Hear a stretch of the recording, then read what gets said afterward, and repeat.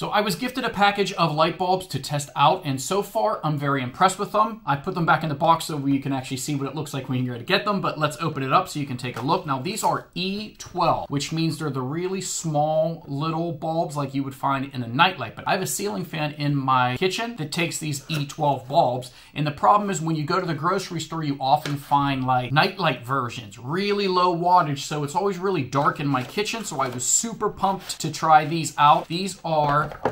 the E12 ends, which is the really small end, but 150 watt equivalent. But these are LED bulbs, so they're actually only burning at 20 watts. So you're gonna save on electricity when compared to a regular light bulb. They're not gonna get hot like a regular light bulb, but you're still gonna get that 150 watt equivalent brightness, so my whole kitchen can be bright. And these are called corn bulbs, and you can kind of see why, because they have LED strips running vertically and then a circular one on the top. And those little LED bulbs are actually actually yellow, so it kind of looks like a cob of corn, which is really interesting. But I took them out of my lamp and put them back in here so you can see what they look like, but let's go put them back in the lamp and I'll show you how bright they are. And these are daylight balanced, so they are kind of a white light, not an orange light.